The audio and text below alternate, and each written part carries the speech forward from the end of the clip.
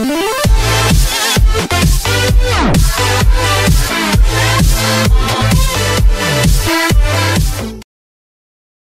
Gayle Why is he not playing for West Indies vs England on his birthday?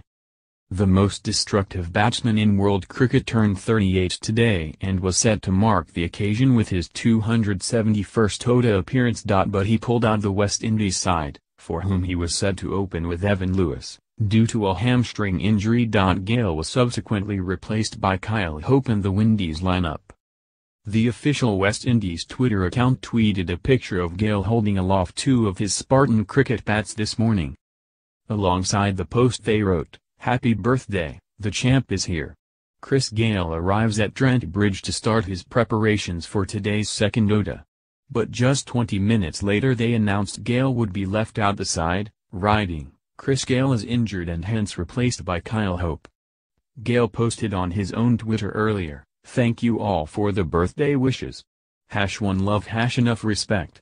West Indies captain Jason Holder won the toss and opted to bowl first.